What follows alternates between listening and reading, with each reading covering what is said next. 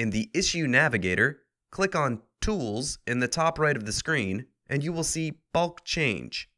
Depending on the number of issues in the search results, you will see a link. For example, all 25 issues. Click on this to see the bulk operations screen. You can edit multiple issues from this screen. Select the issues that you want to change, then click on Next. Select what you want to do with the issues.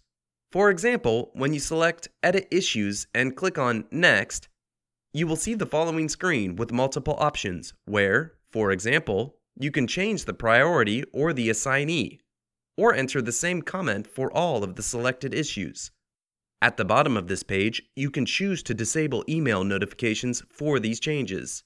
If you do not do this, a separate notification email is sent for each of these issues. To avoid this, simply uncheck the box and then click on Next. You can now review all of the changes you made in this confirmation screen. Click Confirm and you will see a screen that will indicate when the bulk operation is complete.